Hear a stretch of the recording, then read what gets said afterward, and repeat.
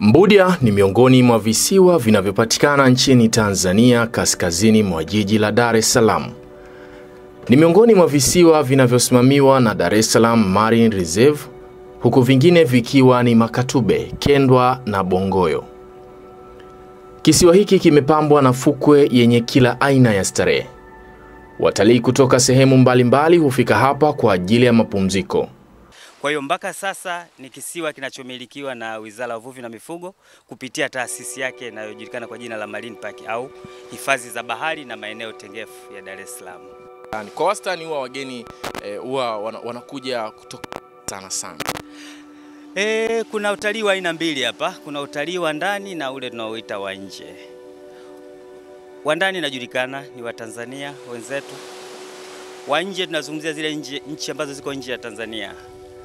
Wageni kutoka nje zaidi tunapokea sana wa kutoka Denmark, wako kutoka Uswisi, Norway, USA kidogo na nchi za ikizungumzia Kenya na Uganda na.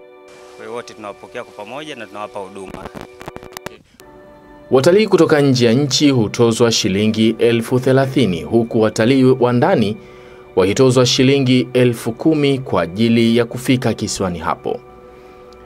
Kisiwa cha Mbudya kimepambwa na fukwe sehemu zake zote mbili, upande wa magharibi na upande wa mashariki, yaani beach 1 na 2.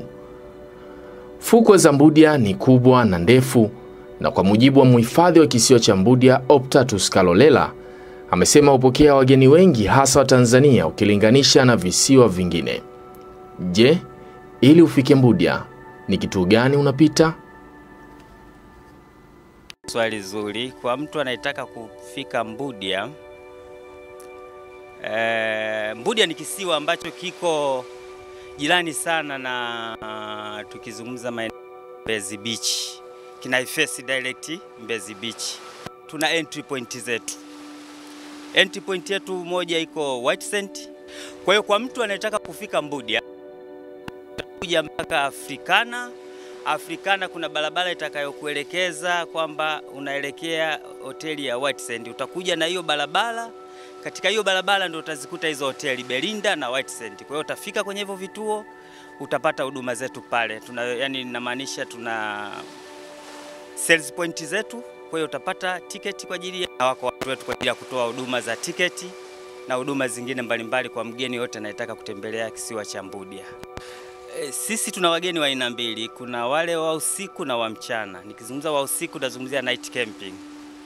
Kwa mgeni wa mchana huwa tunachukua kuanzia saa kumi na mbili asubuhi hadi saa kumi na mbili ya jioni, unatakiwa huo umeshatoka, kwamba saa kumi na mbili asubuhi unaruhusiwa kuingia muda wowote, mwisho saa kumi na mbili ya jioni huo umeshatoka katika hiki kisiwa na kwa mgeni wa usiku itategemea sasa utafika saa ngapi, lakini wengi tunapokea majira ya jioni kwa malengo ya kulala.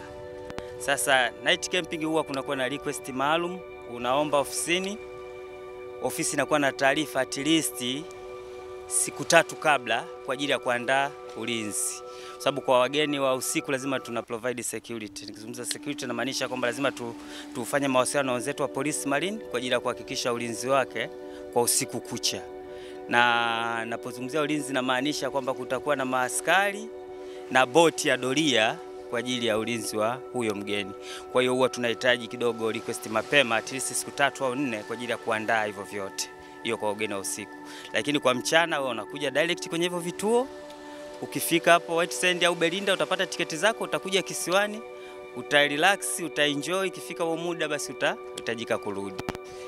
Eh, labda nilielezea hilo tukio kama ulivyolitangulia kuliwekea mfano la kifo cha Pancho Latino. Kifo cha Pancho Latino tunaweza kuzungumzia ni kifo cha kawaida ambaye kwa mtu yote anaweza akamkuta aidha hata kama akiwa amelala nyumbani kwake. Pancho Latino ni kweli alikuja hapa kisiwani, ilikuwa siku ya weekday akiwa na rafiki zake, wakiwa na vinywaji vingi tu. Walipata kibanda, wakatulia, wakawa na kunywa huko na wanafanya maongezi yao. Ikafika kipindi okay, akawa na yeye Pancho kama yeye pamoja na wenzake, kulikuwa na tabia fulani kwamba anakunywa, akishapumzika baada ya dakika kadhaa anatoka anakwenda kwenye maji. anaogelea kidogo kama kupoza mwili, afu baadaye anarudi. Kwa hiyo alifanya hivyo kwa takriban kama mara tatu mara nne, lakini ile ya mwisho wakati Pancho alivyokwenda kwenye maji kuogelea, sasa baada ya kukaa kupiga stori, akaonekana pale ana, anaelea. Ilikuwa ni maji kama ya kiunoni, sio maji mengi, akawa anaelea. Kukawa na kijana mmoja pale pale jirani ambaye alikuwa na, ana, ana, anaandaa boti yake anaisafisha na nini, yuko pale. Alimuona Pancho kwamba staili anayoogelea sio sahihi. Ni kijana mdogo, lakini na yeye staili anayoogelea ilikuwa sio sahihi, kwa sababu alishangaa kwamba anawezaje kuelea akiwa amefunika uso kwa muda mrefu. Alichokifanya yule kijana akatoka akaenda kuwaona wenzake ambao walikuwa nao pale, kueleza bwana, mbona mwenzenu simuelewi, yeye staili anayoelea sielewi ime ya namna gani ambayo sio ya kawaida. Wale wenzake walichokifanya wakamwambia yule kijana kwamba wewe endelea na majukumu yako, huyu jamani mwogeleaji mzuri sana, wala usiwe na mashaka naye. Ni kweli kijana akawa ameendelea kuendelea na shughuli zake. Baada ya dakika chache kijana anageuka akawa amuoni, kumbe akawa amesinki. Akawafata tena, mbona simuoni? Ndio sasa wao wanashtuka kuja kutizama. Ni kweli akaenda kumkuta pale chini, ni maji ya kiunoni. Kibaya tu kwenye ishu ya Pancho, kuna vyombo vya habari vingi vinaandika kuhusu hiyo taarifa. Mfano, iko gazeti la Mwananchi walishatoa hiyo habari, iko Jamvi, Jamvi la Habari. Lakini cha ajabu, mwandishi wa habari anatoa taarifa alafu ana komenti kwamba taarifa hizi amezipata kwa dereva wa taksi ambaye anapaki Afrikana. Sasa huyo dreva wa taksi hata Mbudi haijui. Sasa hapo unafikiria kwa akili za mtu timamu kabisa, mwandishi wa habari anaweza kuweka habari kwenye chombo ambacho kinasomwa na watu wengi, hizo habari eti amezipata kwa mwendesha taksi ambaye hata Mbudi haijui, na wewe mwendesha taksi anazungumza kwamba kuna vifo vingi vinajitokeza.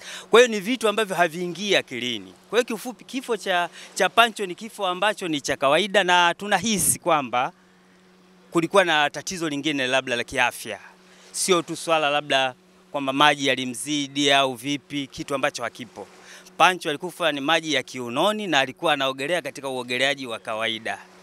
Vyombo tu vya habari vinatengeneza vina, vina, vina hoja na mbaya zaidi kwa kuwa vinapata hizo habari kwa watu ambao hawajui hata Mbudia. Hizo ndio changamoto za vyombo vyetu vya habari.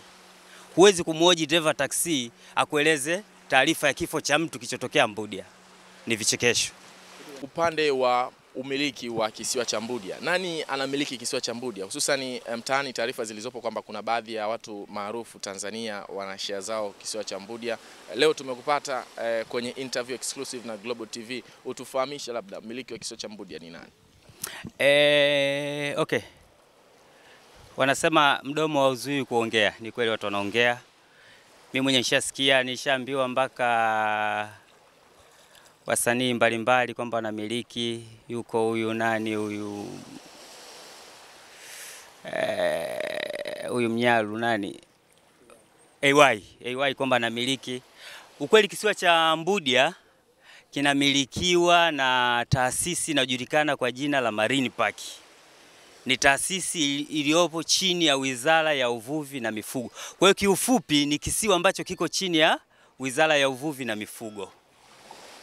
Hakuna mwingine yoyote anayemiliki kisiwa cha, cha na hii taasisi inashirikiana na community zinazozunguka hiki kisiwa. Kwa hiyo watendaji wakubwa wa hapa ni zile jamii za kuzunguka hiki kisiwa. Nazungumzia ni wananchi wa kutoka eneo la Kunduchi, ndio tunashirikiana na Marine Park katika kusimamia hiki kisiwa. Lakini ukiniambia kwamba kuna mtu mwingine aliyelasimishwa kumiliki kisiwa hiki cha Mbudia, hicho kitu hakipo.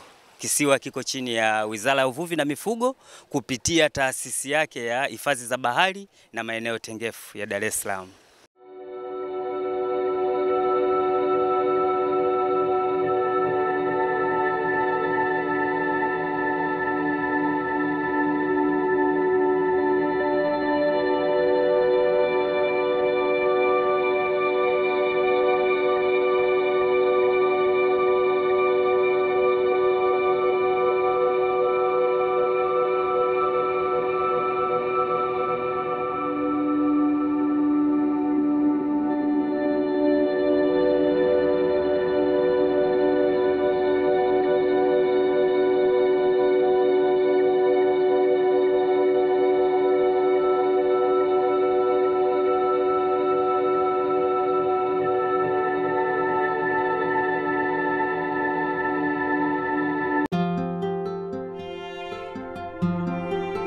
Mzee Tuzo, shikamoo. Marhaba. Mama Tuzo, shikamoo. Eh, naona uko bizi na simu. Hiyo simu ina stori. Tulipokuwa nyumbani, alikuwa na simu ndogo inayohifadhi picha chache. Tulipofika mjini, nikamnunulia simu janja kwa Tuzo Points, Ndio kama maana unavyomwona hapo. Keki tena, kuna birthday. Haswa, na hiyo keki ina habari yake. Mkwe wangu alisahau keki, Usiniambie. ikabidi tukimbie hadi bekari. Kufika alikuwa na pesa pungufu, nikamwambia usijali, nikaongezea, tukalipa kwa Tuzo Points. Karibu tukate keki. Mama, baba anapiga. Happy birthday mwanangu. Jamani mmependeza. He, na kifurushi kanoko Tuzo Points. Soda ta, ishi kituzo, tusherekee. Piga nyota 149 nyota 01 alama ya reli chagua tuzo.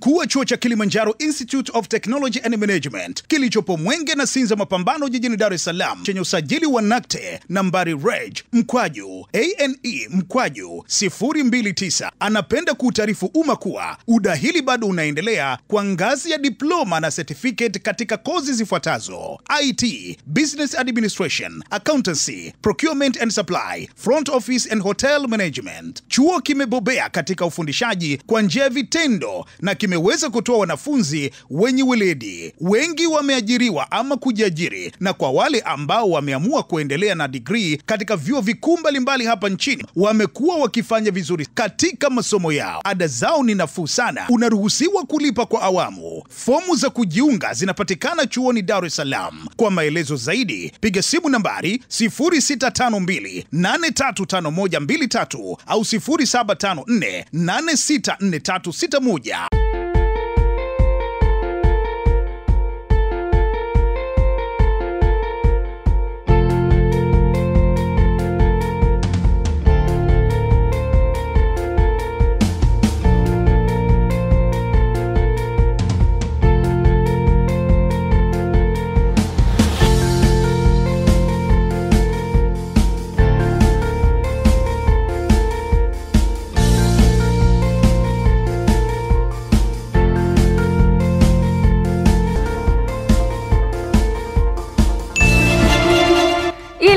864361. Na kila kinachotokea Tanzania, download app ya Global Publishers sasa.